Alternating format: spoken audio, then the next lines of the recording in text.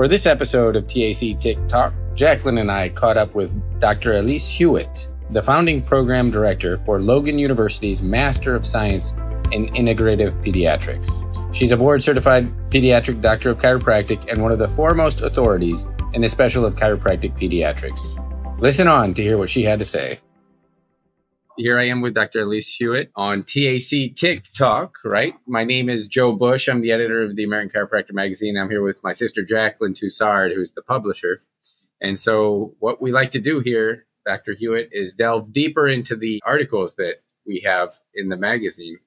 So, recently we carried an article which featured you about your role with the Masters of Science program that you've been developing at Logan University for child pediatrics and chiropractic. I think it's called an integrative pediatrics master's program. So, welcome to the show. Could you just tell us a bit about yourself and your background? How did all this materialize? Oh my gosh, that's a big question. Well, first, thank you so much for the invitation to be here. Uh, it's very nice to meet both of you, and I'm excited to share some information about the program and most importantly, to talk about chiropractic pediatrics because that's been a passion of mine for my whole career. And my whole goal in life is just to have more children have access to high quality chiropractic care so they can live, you know, the life that they're meant to live. So let's see, how did I get here? I was actually pre med uh, when I went to college, and my goal was to cure cancer. You know how idealistic you can be when you're young. go big, right? Go big or go home. That's right, exactly. How are you um, doing with that? Yeah, well, I took a little bit of a left turn and then a right turn, and my, actually, mm-hmm. my best friend died of cancer when we were 16, and oh, um, wow.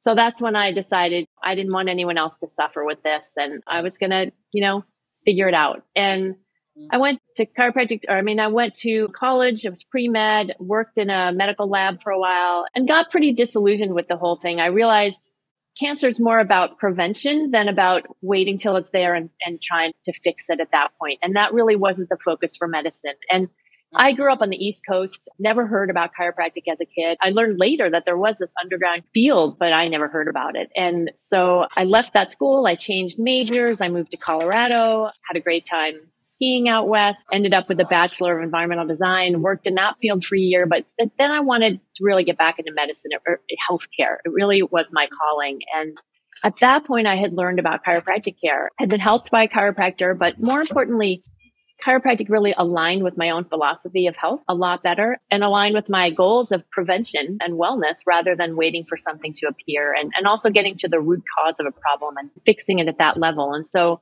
I ended up going to Western States in Portland, Oregon. University of. Western States is called now and got a great education there. And when I graduated, I treated anyone. You know, I started my own practice and you'll treat anyone who is daring enough to come into your front door. But I quickly learned that I really had a passion for treating kids. So, you know, if an adult would call me on the weekend, our policy was we'd always treat and no matter what it was we or when it was we would go and meet someone at the office on the weekend if they needed us. And i'd go in and, and meet an adult and treat them. But when when a mom called and said my son just fell down the stairs. Can you help us? I'd be excited about it and really look forward to it. And so i realized that's when i needed to that's where i wanted to needed to focus my energy. That's where my passion was. And so i really started to hone in on pediatrics at that point. I had taken some pediatrics post grad seminars when i was in college in chiropractic college took a lot more ended up doing some research in that area and became a founding member of the ICA's Pediatrics Council and the ACA's Pediatrics Council. I think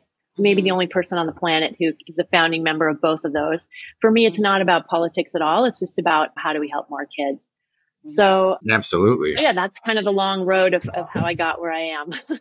well, and that's a great story, and that's very common that we all start out with those giant, you know, we want to cure cancer, save the world, and then yeah, we just fall back into co- chiropractic, like as it's better to avoid it in some cases, right? So if we can, or right, so right. very insightful story. Now, do you currently practice, Dr. Hewitt? Yes. So I am in practice. My practice has been limited to pediatrics for probably close to 30 years now. I've been in practice for 34 years or something like that. I can't do the math anymore. It's been too long. but yeah, so I treat only children and most of my new patients come in on referrals from lactation consultants for babies who are having nursing problems, from pediatricians, from occupational therapists. It's a physical therapist. My practice is referral only. Mm-hmm. Um, And when I first got into practice and really wanted to specialize in pediatrics, I was told by one of the giants in our profession that it wasn't possible. That you couldn't survive having a practice with seeing only children. And there had, it hadn't been done before. And so, mm-hmm. but I just knew that that was wrong. I just knew there were so many kids who needed our help who didn't know about. It. And so that's, that's the direction I went. And now my practice, it's waiting list. In fact, it's, you know, everyone dreams of a waiting list practice, but it's actually kind of hard because you know, I have a mom who calls with a baby who can't nurse. I can't tell them, well, I'll see you in right. two months. You know, that's my next new patient opening. So Dr. Been, Hewitt, I love what I do. It's amazing. What were some of the limitations that you had coming out of school when you identified this as being your niche? I mean, chiropractic college and that the whole program, you, you cover a tremendous amount of information, right? And so there are definitely areas that probably everyone is not prepared to attend children and definitely on the level that you're doing. So what are some of the limitations that you found and, and what were some of the solutions that you identified as you went through? Yeah, I think, you know, the, everybody does a great job in the chiropractic edu- educational world, fitting in as much as they can into the limited time that they have with their students. And most doctors don't end up specializing in pediatrics. And so there isn't a lot of pediatric education included in their chiropractic, their overall chiropractic schooling. There is enough pediatrics to um, for every chiropractor to be safe, you know, with a child to understand how to modify techniques, how to recognize when to refer. And we are licensed in all 50 states to treat children. So, you know, and, and so we are, we are examined on that and make sure that we do know enough about pediatrics to be safe. But for mm-hmm. those of us who want to go into pediatrics in more depth and see more children, I think most chiropractors will tell you that more education in that area is needed, just like with any specialty. If you want to specialize in neurology, you, you don't get, we get enough neurology to understand the basics, but not enough to be a, a, a chiropractic neurologist. And so the same thing if you want to be a pediatric chiropractor, you're going to need more training in that area. And so there are diplomate programs available, certification programs that have done a good job over the years. I have one of those. So I've been through that program. I understand it. The big problem with the diplomate programs is they don't have any external oversight. There's no accrediting body outside of chiropractic and outside of those who are involved with the individual programs to verify that you know what they say is taught is actually taught and then it's taught at the level that it's supposed to be and that sort of thing so what we've done at Logan is we've created the first Master of Science program in pediatrics for chiropractors. And this program is accredited, fully accredited by HLC, which is the arm of the U.S. Department of Education that accredits schools in Missouri. So it's a fully accredited program. And the advantage of that, you know, first of all, it keeps us to a very high standard. We have to keep education up there. But the advantage of it is also that it's recognized outside of the walls of chiropractic. So it's recognized across professions. They understand what a master, accredited master of science is. And so mm-hmm. the degree holders with a master of science in integrative pediatrics are going to be recognized when they go into a hospital potentially to work there. They recognize that they have this master of science in pediatrics. They could go into work in a multidisciplinary clinic. They could go on to teach at the university level you know, there are a lot of opportunities with an accredited master of science that we don't get with any of the other internal certifications that we have in chiropractic. So that was uh, really the reason for developing this master's program. I think it's fascinating. I think it's fascinating. So, how many now have you been approached by people outside of the profession that might want to take advantage of that, and or is it only available to chiropractors? Right now, the program is you have to have a DC in order to enter mm-hmm. the program or the international equivalent of a doctor of chiropractic in order mm-hmm. to enter the program. There is a pathway for students with advanced standing to get into the program as well. Usually it's in their last year once they've been a treating clinician in a, a educational clinic of some kind on campus or off campus then they're able to apply for the program as well. You know, if you want to talk about down the road, I can see us developing tracks for other license holders. So they could mm-hmm. also have this integrative pediatrics master of science. So for example, naturopaths, acupuncturists, nurse practitioners, you know, who, whatever other specialties want to mm-hmm. specialize in pediatrics. But right now we're starting with focusing on chiropractic and getting that, you know, really solid base under us. And then how long does that take? Is it a year long program? Is it something that they take while in school? You know, like you're saying, as, as a master's, I'm thinking is do they are these practicing doctors or is it more when you're in a student level? Do you have to suspend your life to get into this master's program to do it? Yeah, such a good question because, you know, what chiropractor isn't crazy busy with their practice and their family and all of that. And so the, this program is actually designed to work around the busy chiropractor's life. So it's, it's offered online. So 90% of it is online. There is each year, once a year, all the students come together on the Logan campus to practice all of the hands-on techniques they've learned um, mm-hmm. in that term and also so they can be assessed in person for the application of those techniques. So it's online and it's asynchronous, which means that it's given, you know, you can work around your own schedule there. You don't have to sit in the chair at nine o'clock in front of your computer and, you know, attend a lecture. The lectures are all of the coursework and all the materials are available online at any time. And mm-hmm. so students can fit it in around their busy lives. Now, with that said, it's also very instructor driven, meaning there's a lot of instructor interaction. There, um, mm-hmm. There are assignments that are timed and graded, and you get feedback on the assignments. Instructors participate in discussions on the discussion board, and they're really they have office hours every week, so they're very available for students, even though it is a distance, mostly a distance program. And to answer your question about students, right now, most of our students are doctors of chiropractic. We actually have students from four different countries, so Europe and Latin America and the United States. And it is open to students in that final year. So students can dual enroll for the first year of the program and they'll, you know, they're usually their last year of chiropractic school. Great. So how many students have already enrolled? And I mean, I guess this was just rolled out recently, right? So yeah, we just have our very first cohort started in September. So it's mm-hmm. been about six or seven weeks now. Um, mm-hmm. And we have 13 students enrolled.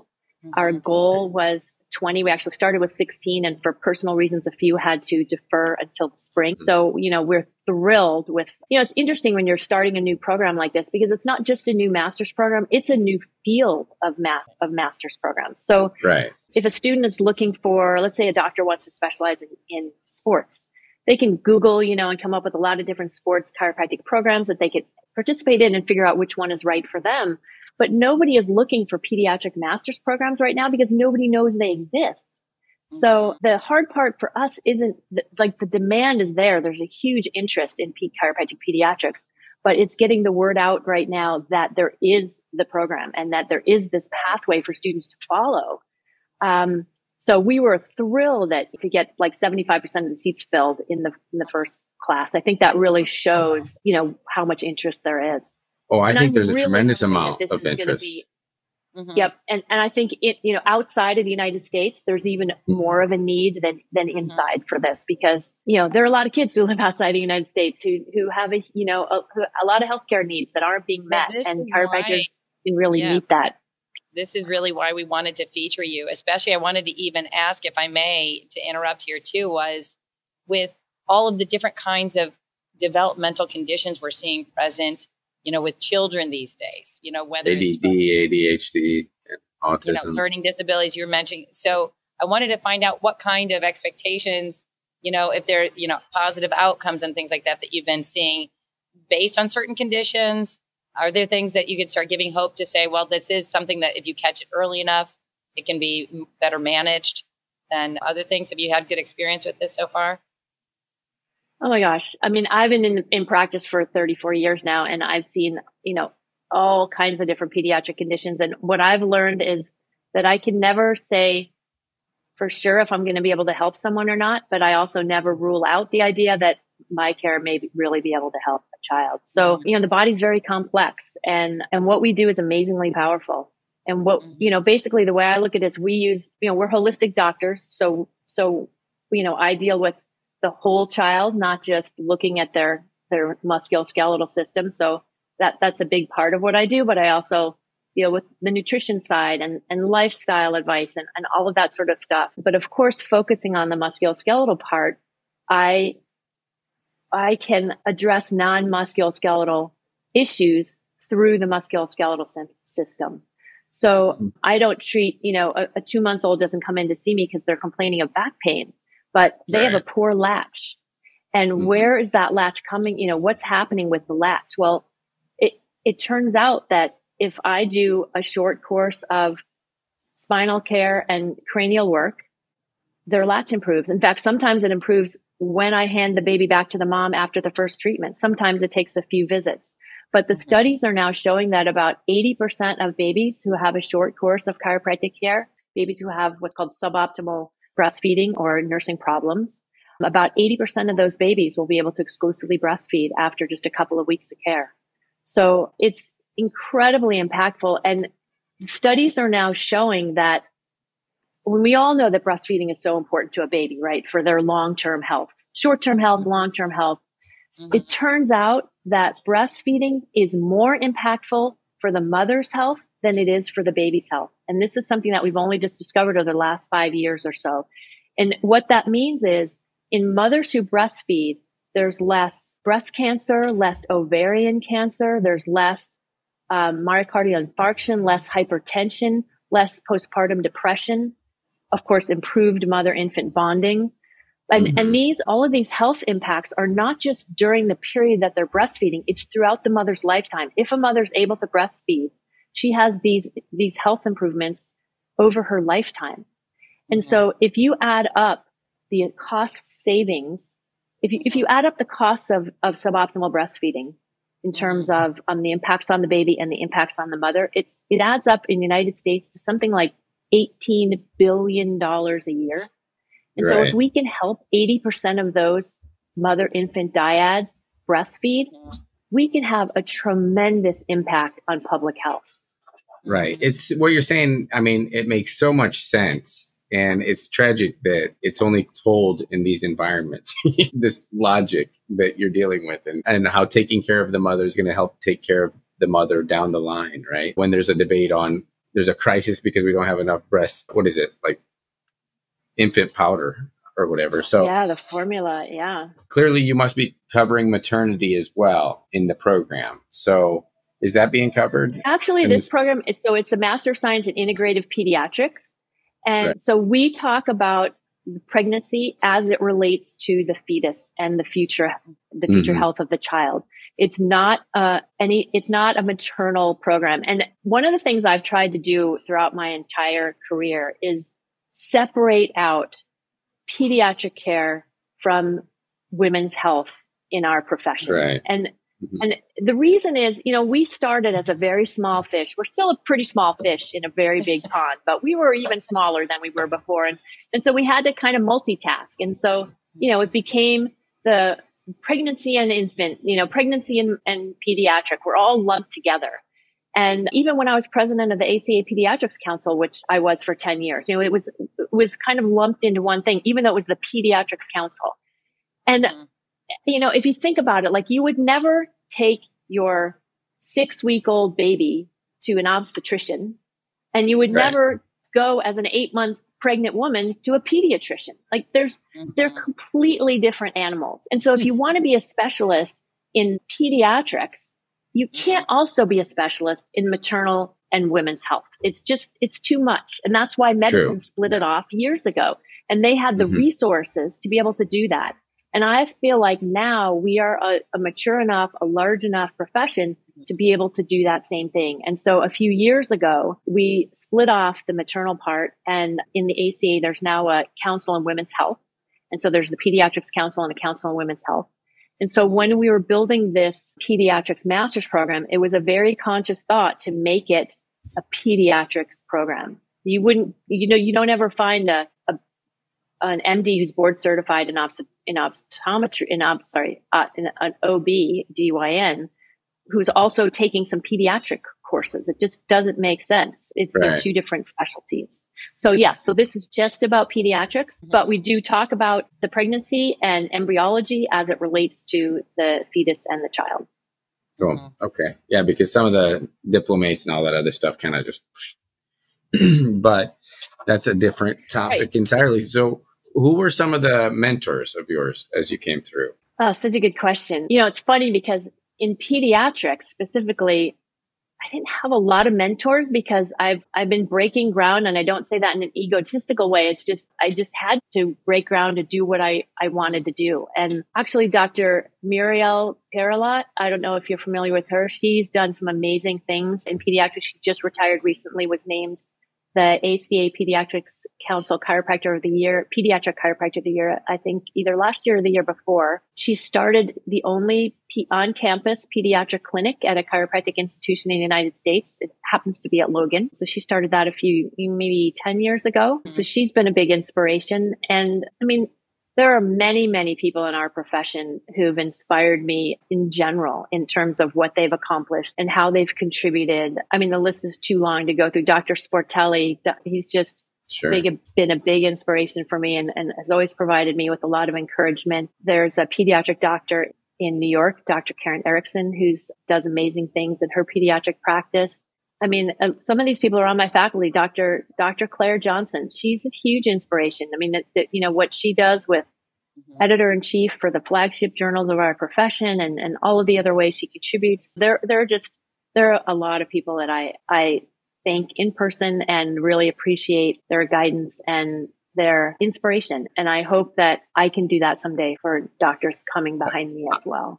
I'm sure you have already. So, what kind of techniques do you do? I mean, are you doing like diversified, flying seven, activator? I realize it's you got a, a whole different approach. So, um, but is it are these cranial? Yeah, you've mentioned some cranial techniques. Yep.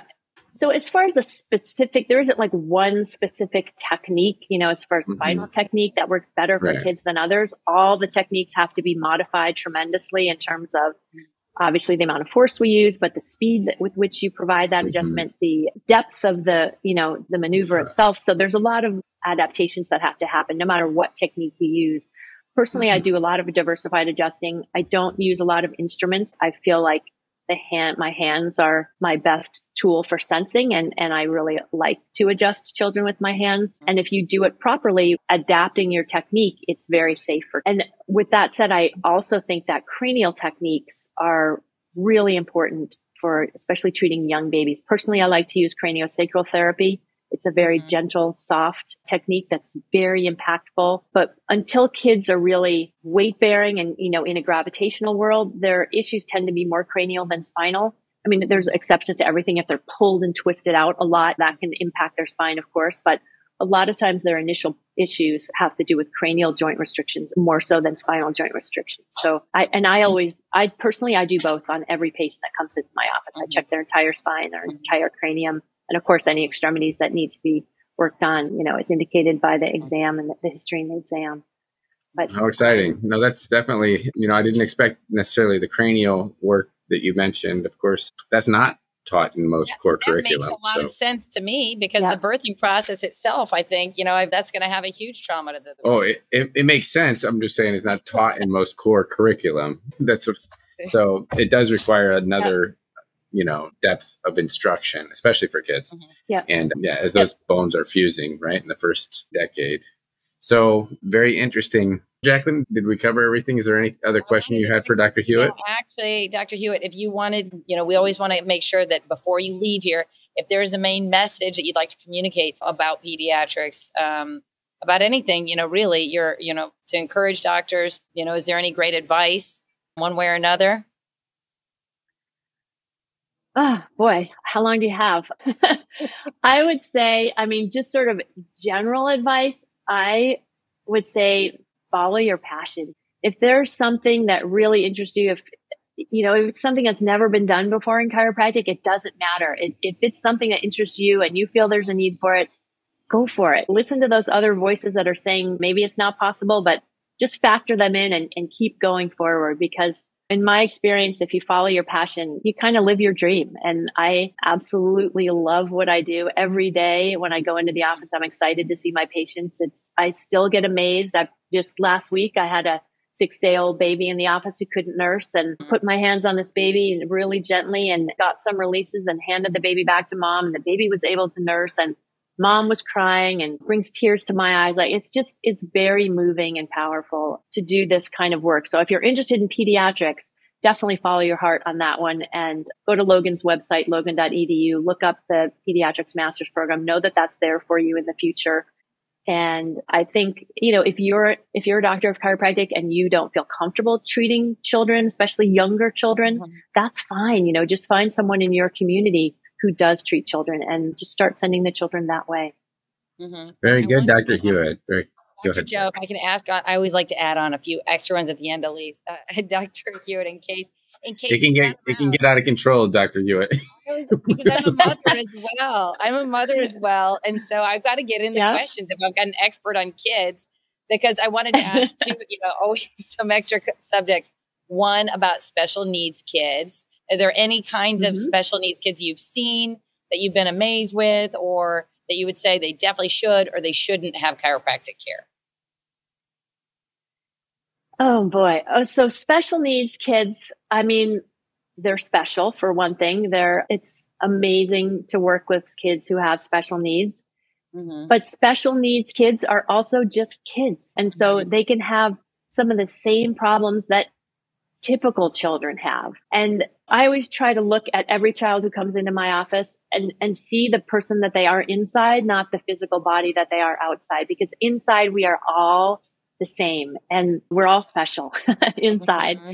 And, and on the outside, some bodies don't work the same way and some bodies need more help than others. So mm-hmm. yes, I find kids who have seizures, a lot of times the seizures will tighten them up. So some regular chiropractic care can help loosen those joints back up again and help them be healthier between those seizures. I've treated lots of kids with autism and on various stages of the spectrum. Mm-hmm. And they're all, everybody's different, you know, but I've seen all sorts of changes in kids, some who start to make better eye contact, some who stop, many who stop stimming or banging their head or whatever their particular stim is. I feel like a lot of times that's coming from discomfort. Did you know? So the dura mater that underlies all the cranial bones is some of the most pain sensitive tissue in the body. And if the mm. cranial bones are not moving properly, a contraction that dura mater causing a headache.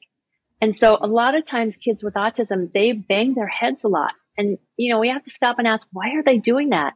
A lot of times after some cranial work, they stop doing that. And I think it's because they're feeling better. They're, they're not, not having that same discomfort that they used to have. So yeah, I think the most important thing is to treat every child as unique and no matter what their abilities are, um, mm-hmm. we, they do better in life if the joints in their spine and their cranium are moving properly. Wow. Well, and I wanted to ask on one more because Dr. Joe always loves this, but after coming out of the craziness of the past few years, and if I have the experience, the opportunity to connect with the vaccine question. I, I knew it was coming. Always the COVID question because it's been such a marketing miracle and you know so successful, I guess, from the pharmaceutical standpoint. Dr. Joe, stop tapping your pencil. I can hear Sorry, you. but I was going to say, I wanted to find out whether COVID, whether the vaccines with the kids, are you seeing anything different? I don't know if you've seen kids who've been either from vaccinated parents and, you know, or just, I don't know if, you know, you're dealing with young pediatric. I don't know if you've seen kids who've been vaccinated. Do you have a concern one way or another, or COVID itself? What is your standpoint or your perspectives from what you've seen in your practice? From what I've seen in my practice, I haven't seen any ill effects one way or the other from the vaccine itself. In in general, I understand our profession is concerned with vaccinations to a certain degree. However, I personally feel like it's out of our scope of practice Mm-hmm. And so I don't discuss vaccines with my patients. If they have a question for me, I will send them back to their pediatrician. I'll send them to some resources that I think are science based for them to be able to make some of their own decisions. Mm-hmm. But it's really out of my scope to discuss vaccines with them. I mm-hmm. have had two patients so far, pediatric patients with long COVID, serious mm-hmm. one one middle school in particular now has to walk with a cane. She's in, has chronic headaches, is on medications for several different issues, all related to her long COVID. So long COVID is a real thing. It's, it's pretty debilitating. So, you know, I don't, I don't, like I said, I don't recommend or, or not recommend vaccines one way or the other. Personally, I don't think there's we had enough study to even know, you know, because mm-hmm. everyone's concerned about long term impacts, not short term impacts. And we haven't had that long yet to really evaluate long term impacts. So I think, you know, everyone has to do what, what they, what feels right to them. I'm, I'm a strong believer in patient choice. And I, so I think, you know, we, each person needs to make their own decision on that topic. Well, thank you because that's why I asked because I've seen so much fear mongering on both sides to the point of irrationality. so that's why I, I like to at least ask that difficult question sometimes to see the personal stance that each doctor that we get to come in contact with has had to make uh, and take that stance because some people will, even as a publisher for us, you know, kind of dangle the bait out there, like you said, right. getting outside of our scope. We're like, you know, chiropractors, we've got our own challenges. So, well, yeah, and freedom of choice, freedom of choice is a great part or point to start at. Of course, not everyone had freedom of choice, right? So when you get forced to do something immediately, mm-hmm. it's, it's not comfortable. So. Yeah, and Very another good. thing too, for anybody who wants to keep following, do you have any social media? How do people keep in touch with you in between? You know, obviously we've got the the article in our magazine coming up here, but I wanted to check and see if there's any way we'll keep in touch with you or anybody else. Yeah, best way to to reach me is through my Logan email, which is my name Elise E L I S E dot Hewitt H E W I T T at logan dot edu. All right. So, I try to stay away from social media as much as I can these so days. So what Dr. Hewitt means is to keep following the American Chiropractor. Yeah. We're going to have to follow all your excitement. So just keep us. Yeah. you're miss, You're missing all those guys cracking babies and stuff. At least, I mean, I don't know why yeah, you. that gives me nightmares. So. I'm there with you. And I must say, in our program, uh-huh. we mm-hmm. have mm-hmm. um, spinal adjusting, cranial work, and extremity mm-hmm. adjusting all adapted for kids so that our graduates will be experts at the application of manual therapies to pediatric patients. Mm-hmm. Fantastic. Fantastic. Well, keep doing what you're doing. We're so excited about it and glad to share it with our mm-hmm. readers and our listeners today. So Thank you so much, and keep us posted. We want to have some now. Does is there a time frame when the inscription and the classes begin? So if they missed getting in on this, like what's the frequency that the new class would start? The next one. Yeah, good question. So we have two cohorts a year. So one starts in the fall and one starts in the spring. So our next cohort is going to start in spring of 2023. So we're accepting applications for that. We also have a few applicants already for fall of 2023 as well. So okay. And thank you for the opportunity to be here. I just, I really enjoyed speaking with both of you and, um, and it, I just really appreciate what you're doing for our profession as well. Well, thank you. We look forward to seeing your program grow there with Logan. And they're doing such great work over there too, as they brought on the sports science and now this. So it's very exciting.